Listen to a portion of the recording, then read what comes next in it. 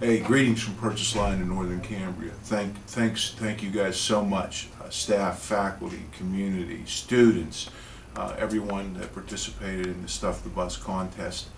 Uh, it, it's a, a good thing we're doing here, in, uh, getting out to the needy uh, that, that were affected by Sandy.